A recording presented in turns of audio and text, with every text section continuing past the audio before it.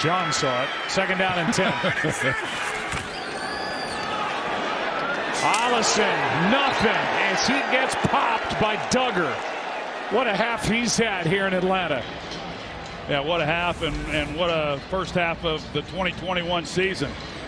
I mean, really something. There, there's there's a lot of pieces when when you look at this New